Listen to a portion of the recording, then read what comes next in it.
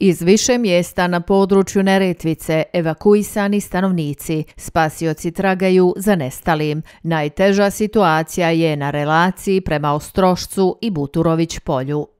Spasioci i jutro stragaju za nestalim osobama na području Jablanice i Konjica. Dostavljaju se lijekovi i hrana stanovništvu na pogođenim područjima i dalje je najteža situacija na relaciji prema Ostrošcu i Buturović polju, a cesta prema Doljanima i Sovićima je zatvorena i radi se na sanaciji odrona. Pored GSS ekipa na terenu se nalaze i pripadnici spasilačkih ekipa iz drugih država koje se nalaze u mehanizmu međunarodne pomoći.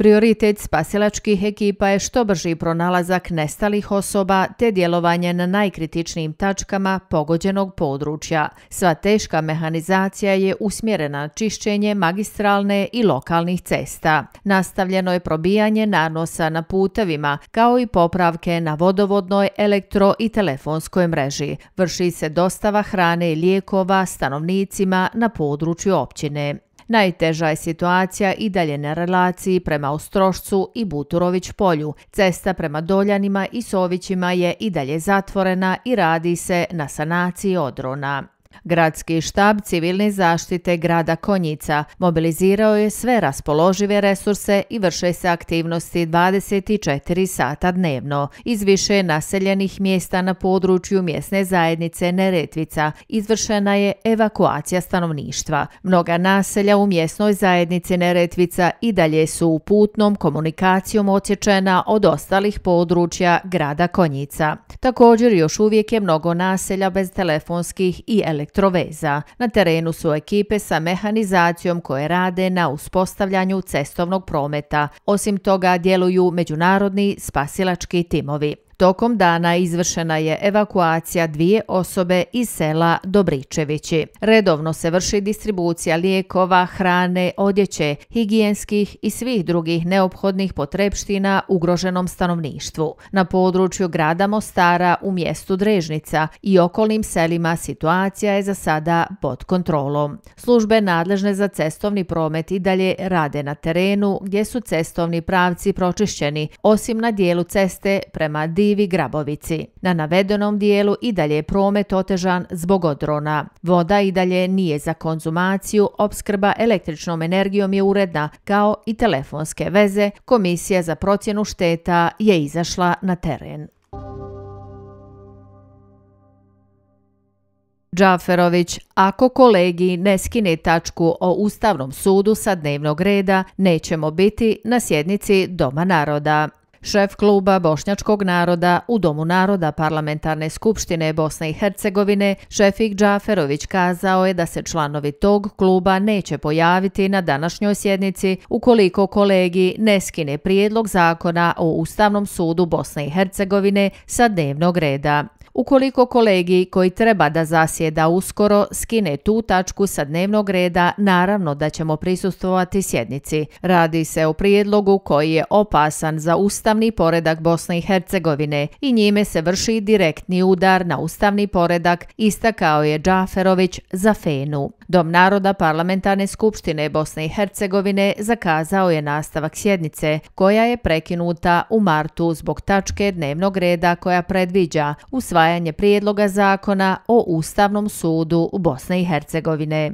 Na sjednici Doma naroda 18. marta ove godine je na prijedlog SDS-ovog delegata Želimira Neškovića na dnevni red uvršteno usvajanje zakona koji se odnosi i na odlazak stranih sudija iz Ustavnog suda Bosne i Hercegovine i uvođenje nacionalnog odlučivanja u taj sud. Delegati iz kluba Bošnjaka su tada napustili sjednicu i tako onemogućili glasanje. Ukoliko se sjednica održi, delegati će raspravljati i o prijedlogu zakona o dopuni zakona o porezu na dodatnu vrijednost i prijedlog zakona o izmjenama i dopunama izbornog zakona Bosne i Hercegovine koji je predložio klub poslanika SDA u predstavničkom domu, a koji se odnosi na zaštitu integriteta izbornog procesa i uvođenje novih tehnologija. Šef Cije upozorava, Izrael i Iran ne žele rat, ali situacija je napeta. Šef cije William Burns izjavio je danas da, iako američka obavještajna zajednica vjeruje da ni Izrael ni Iran ne žele potpuni sukob, postoji veliki rizik od pogrešne procjene. Suočavamo se sa stvarnom opasnošću dalje regionalne eskalacije sukoba, rekao je Burns na konferenciji za novinare u Sjedinjenim američkim državama. Prema Burnsovim riječima, Bliski istok je mjesto gdje se sve vrijeme dešavaju komplikovane stvari. Razmjena obavještajnih podataka između Sjedinjenih američkih država i Izraela omogućila je poraz iranskog raketnog napada 1. oktobra, rekao je Burns. Napad je razotkrio neke slabosti vojnih sposobnosti Teherana, ali, kako je istakao, to ne znači da Iranci nisu moćni i to je nešto što ne samo Izrael, već i Sjedinjene američke države treba da shvate veoma ozbiljno. Kada je u pitanju sukob u Gazi, Burns je rekao da su nekoliko puta bili na korak da postignu sporazum o taocima i prekidu vatre, ali da to stalno izmiče iz ruke. On je ocijenio da se moraju napraviti teški izbori i kompromisi koji su u interesu dugoročne strateške stabilnosti.